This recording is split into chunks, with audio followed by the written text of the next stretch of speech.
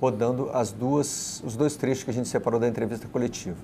É, primeiro com o Fernando Seabra e depois com o Lúcio. O nosso desafio enquanto é, profissionais do futebol, pessoas e, e, equipe, é no momento mais difícil a gente crescer. Né? E uma situação que se tornaria ainda mais adversa com o, o adversário empatando o jogo na sua casa por volta de, não sei, 30, 35 do segundo tempo, por aí. E empurrado pela torcida e vindo para cima para decidir o jogo. É, nesse momento nós conseguimos dar uma resposta, né? Fazer uma jogada lúcida, encaixar um contra-ataque, quer dizer, são coisas que a gente é, vem sempre conversando com os jogadores para que a gente é, tenha mais repertório, crie mais chances, né? Em todas as circunstâncias do jogo.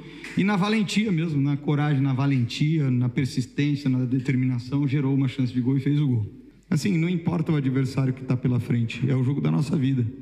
Assim como era o jogo do Cruzeiro, assim como é foi o jogo de hoje, e esse então é o derradeiro porque aí realmente é a última rodada e não, não resta margem para mais nada. Ou você fez e entregou o resultado, ou você não fez.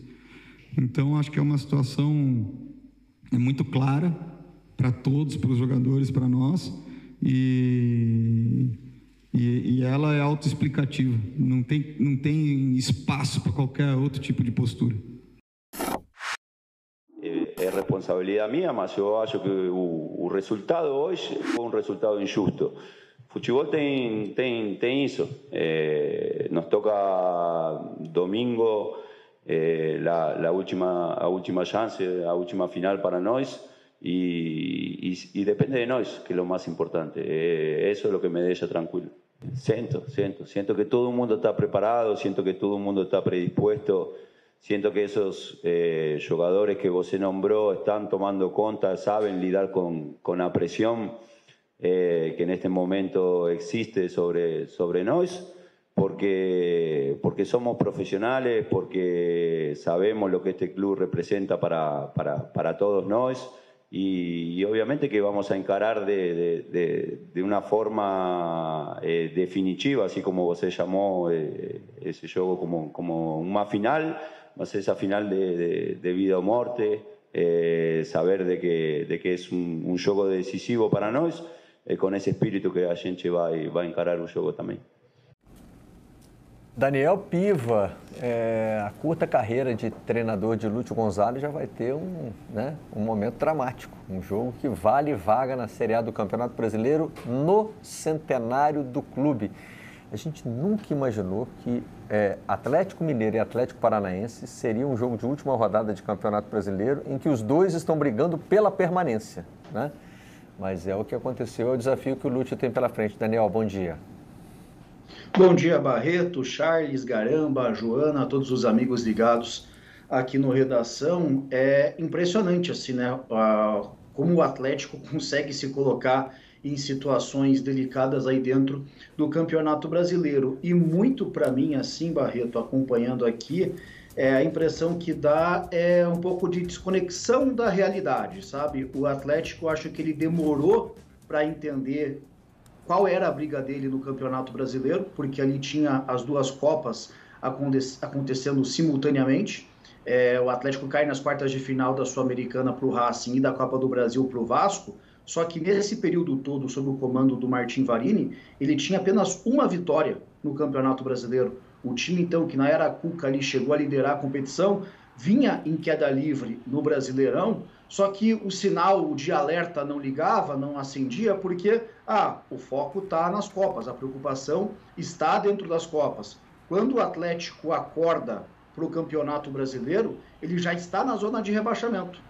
E aí ele faz essa convocação ali ao seu torcedor, que já foram, é, foram seis jogos dentro da Liga Arena e o menor público foi de 35 mil pessoas. Então, é, essa conexão, essa união foi quem recolocou o Atlético na briga. Foram três vitórias, um empate, duas derrotas, mas esses 10 pontos tiraram o time da zona de rebaixamento e deixou a ficar um empate de garantir matematicamente a permanência. Só que faltou o Atlético ele passou a tratar, dando a, a entender, que já estava com a vida resolvida. Já estava ali depois que ganhou do Atlético Goianiense, ah, agora o foco é buscar uma vaga na Sul-Americana. O pior já foi, o desespero é, passou. E aí contra o Bahia vencia por 1 a 0 sofre o gol nos acréscimos. Aquele resultado teria resolvido a vida contra o Fluminense na, no domingo na Arena da Baixada, é, ele abre o placar é, com um minuto de jogo, 41 mil pessoas presentes é, no estádio incentivando o time. Ele, ao invés de usar a atmosfera a seu favor, é um time que prefere recuar, chamar o adversário para cima, confiar que não vai tomar um gol, é conseguir matar o jogo no contra-ataque. Empata 1 a 1 não resolve a sua vida matematicamente na competição e ainda viu o Fluminense perder um pênalti, ou seja, a situação poderia estar tá ainda mais dramática. E ontem, diante do Bragantino, era um time que entrou tratando como um jogo qualquer e o Bragantino como uma decisão, porque é, quando o Lúcio fala que o resultado foi injusto, até o Bragantino abrir o placar na primeira etapa com o Sacha, o Mikael já tinha feito duas grandes defesas. O Atlético só acorda para o jogo quando o placar já era de 1 a 0 o Bragantino. E aí sim, no final do primeiro tempo, pós 1 a 0 o Atlético tem pelo menos três ótimas situações para chegar ao gol de empate acaba não aproveitando. No segundo tempo, foi o oposto. A bola começou a queimar no pé dos jogadores do Atlético. Era um time que não estava confortável em campo, o Bragantino crescendo, tendo domínio das ações da partida, e aí na base do abafa da imposição, o Atlético consegue chegar ao gol do empate. Só que mais uma vez deu aquela sensação que resolveu uma vida. Não estamos mais na luta contra o rebaixamento acordou 2 a 1 Bragantino e agora uma situação que dá para chamar de desesperadora, Barreto, porque se perder do, do Atlético Mineiro vai depender do Bragantino que enfrenta um time já rebaixado e desmobilizado, que no caso o Criciúma. Se empatar vai depender do Bragantino e do Fluminense. O Atlético não, não ter que ficar fazendo conta, vai ter que ganhar o jogo. Só que aí o Atlético Mineiro vai estar tá também nessa linha de tiro, vai estar tá na reta também. Então é um jogo muito dramático, um jogo que ganhou proporções gigantescas e algo que poderia ter sido evitado já há muito tempo. Mas a verdade é que o Atlético 2024 está completamente perdido, desconectado da realidade, assim como foi a entrevista coletiva ali do Lúcio pós o jogo de ontem. É, a situação do Atlético, é, que a gente mostrou aí na arte, pode até repetir na sequência aí, é, é parecida com a do Fluminense, na verdade, né?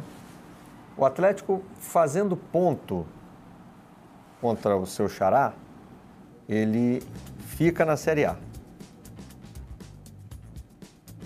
É, fazendo é, ponto, não, perdão, perdão, perdão. É, ah? é, a situação, desculpa, é, a situação é pior do que a do, do, do, O empate não classifica os dois automaticamente, Joana. Olha aí, ó. Uma vitória contra o Atlético Mineiro garante o Atlético Paranaense na Série A. Não é o caso do Fluminense que se empatar já está, já está garantido. Empatando ou perdendo, tanto num caso quanto no outro, ele vai precisar de um desses resultados seguintes aí.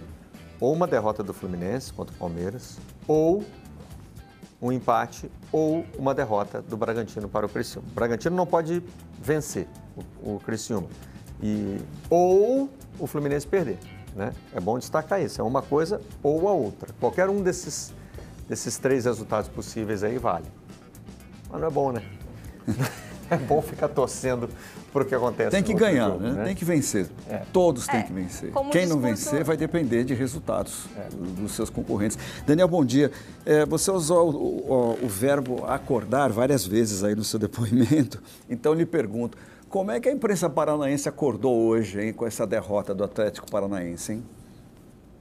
É um clima de preocupação muito grande, assim, porque é, no, após o jogo contra o Atlético Goianiense, a sensação era que ah, o Atlético, o pior já foi, vai conseguir ali, é, é, pelo menos se manter na Série A do Campeonato Brasileiro sem o drama das últimas rodadas. Só que foi passando o jogo pós-jogo ali, não resolveu contra o Bahia, não resolveu contra o Fluminense, todas as fichas estavam depositadas no jogo de ontem. Até porque, como o Atlético sabia já os resultados da rodada, é, ele perdendo, ele além de não estar com a vida resolvida, colocava o Atlético Mineiro na, na, na, na linha de tiro também. Então não, não vai ser um jogo, ah, o Atlético Mineiro relaxado contra o Atlético, com um portão fechado, é, vai ser aquele clima de amistoso. Não, se o Atlético Mineiro perde do Atlético Paranaense, o Galo vai correr o risco de queda. Então ele vai ter que também, é, virou um confronto direto. Por isso que a preocupação aqui em Curitiba hoje está muito grande. Para a gente ter ideia, a última vez que o futebol paranaense não teve nenhum representante na Série A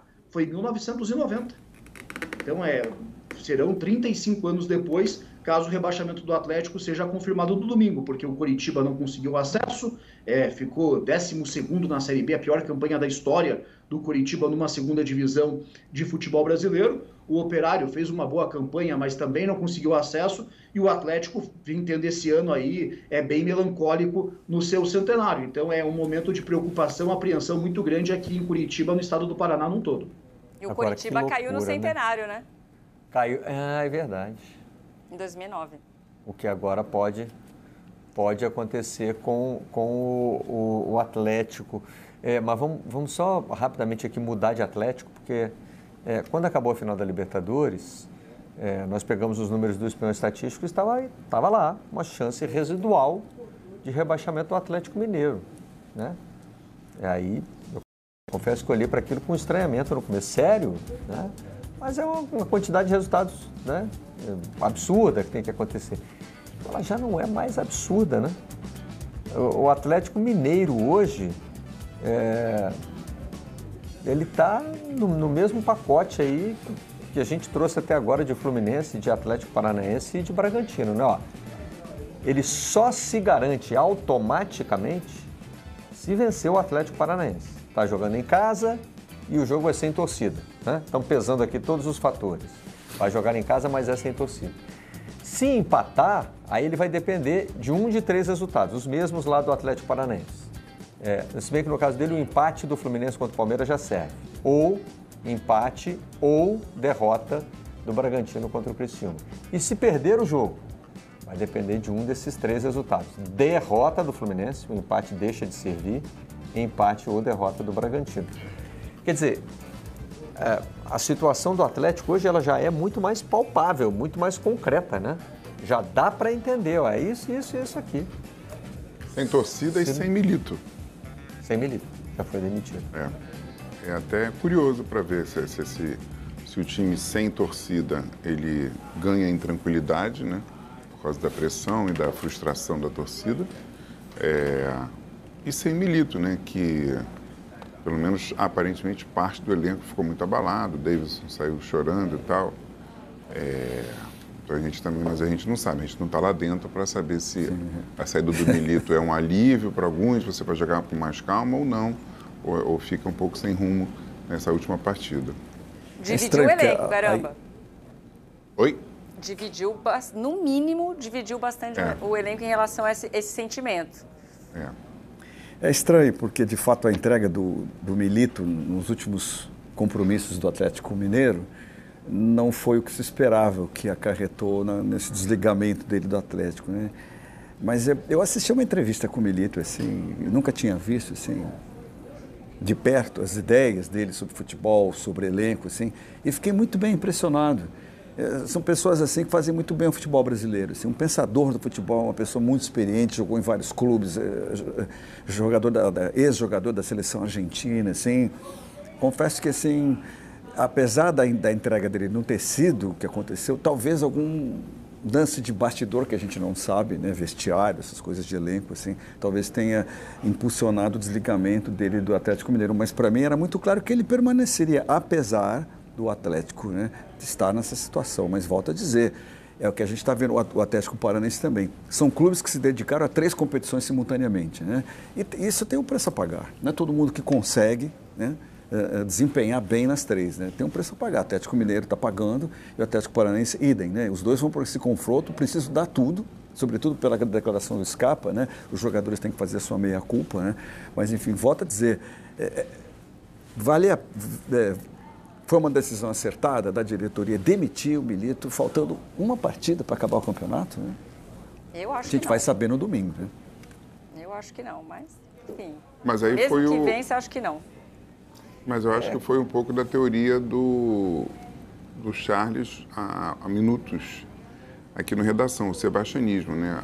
a, a, a torcida, é, a diretoria apontou para o Milito como único responsável, porque na Libertadores ele erra, ele erra, né? quando o Botafogo perde um jogador com 40 segundos, ele não, não muda o jeito de jogar. Parece que ele se preparou para jogar de uma forma reativa e não soube, não, não soube mais fazer o contrário. E na Copa do Brasil também houve uma crítica, né? É. Que ele não soube jogar contra o Flamengo. Ontem eu até fiz esse, dei esse depoimento aqui, né? De que eu acredito em conceitos que foram surgindo ao longo da nossa carreira, que a gente não trabalhava tanto com eles assim quando começou, né? Mas que Caso nosso aqui, Joana não, Joana é mais nova. Joana já chegou com essa, com essa nova situação estabelecida. De uma defesa de planejamento, de continuidade, de não tomar decisões intempestivas. Então a gente foi se moldando nisso, né? Nós que nascemos analógicos e tivemos que aprender a ser digitais, fomos também nos acostumando a esse novo cenário do futebol. Mas eu ainda sou apegado a umas coisas assim do nosso tempo. Eu acho que você perder a, a final da Libertadores da forma como o Milito perdeu, né? É, e aqui acho que vale sempre o disclaimer, né? O Botafogo ganhou a Exatamente. final da Libertadores, então uma coisa não tira da outra. Eu só estou olhando aqui agora para o lado do Atlético, tá? O Botafogo teve uma final heróica, é, foi uma conquista espetacular, mas isso aí é, é coisa que o Botafogo está comemorando até agora. Mas olhando só para o lado do Atlético, o treinador do Atlético teve a chance de enfrentar um rival que era considerado superior tecnicamente com um a menos a partir do primeiro minuto de jogo e não conseguiu. Eu acho que tem uns resultados assim no futebol. Tudo bem, não vamos olhar só para resultado, né? Vamos tentar entender o processo. Mas alguns ganham protagonismo. Não, tem... o, o Milito voltou demitido da Argentina, gente. É. Tava só assim, qual que vai ser, né? Fico pensando, qual vai ser o, o, momento em que a gente vai demitir? Ah, perdeu mais uma, pronto, decidimos que é agora, na penúltima rodada. Podia ter decidido, na verdade, antes. O cara voltou demitido. Enfim, é, vai ter esse jogo sem torcida aí, né? Exato. Para decidir entre eles quem fica na Série A. É, os dois podem ficar, mas aí vão ter que depender do, dos resultados dos outros jogos. Né? É, e eu fico pensando aqui se nesse momento é melhor ou pior ficar sem torcida. Porque, por exemplo, ontem, né, Daniel, o pacto acabou, né? O torcedor do Atlético largou o time e depredou o próprio patrimônio. É, exato, Barreto. É, a torcida ela foi muito importante né, no comparecimento. É, nesses seis jogos em casa, o menor público foi 35 mil pessoas. Em três ocasiões, o Atlético ele bateu é, o recorde da Liga Arena. Só que ontem, após o jogo, a paciência acabou. E aí era um monte de protesto, era um monte de cobrança. E isso é, subiu o tom. É, foi além de simplesmente cânticos protestando, é, é, direcionados contra jogador, diretoria ou treinador. Teve tentativa é, de invasão e seguranças do Atlético conseguiram agir rápido, evitando o pior, e o choque já estava ali posicionado. Então, é, é, não, não teve uma gravidade tão grande como a gente já viu em outros casos, até mesmo 2009, é, já citado no caso do rebaixamento do Coritiba ali no Centenário, porque já tava, já tinha esse planejamento, já conseguiram ali visualizar, é, agir rapidamente, porque se deixasse, se fosse, é, vamos vendo o que vai acontecer, a confusão seria muito grande ontem na, na, na Liga Arena. É, foi assim um final de jogo muito triste, muito tenso, com bomba estourando ali, bomba de efeito moral dentro do estádio, briga entre torcedores da principal organizada é, do Atlético, um cenário assim é melancólico no fim da partida de ontem. Teve dano ao estádio, Daniel? Teve esses portões que foram ali é, é, quebrados. Um deles chegou a cair quando a polícia ali é, é agiu rapidamente como choque. É, no setor que teve essa tentativa de invasão não tem cadeira, então não chegou a ter esse tipo de dano. É, foi mais aí confronto entre torcedores ali da principal organizada é, do, do, do, Atlético. Então, o principal dano ao estádio, pelo menos neste momento, que deu para visualizar, a questão ali dos portões e alguns vidros que foram quebrados. Mas naquele setor não tem cadeira, então é, não, não teve mais essa gravidade ali na, na noite de ontem. É, estava perguntando isso só é, é, para ver a situação do Atlético, não por uma questão judicial, né? porque não precisa ter dano físico a, ao estádio para que, é, para que o clube seja punido. Né? Essa, essa, essa tentativa de invasão, teve gente que chegou a passar pelo portão, mas a polícia empurrou de volta rapidamente. Né? Esse filme a gente sempre vê no final do Campeonato Brasileiro. Né?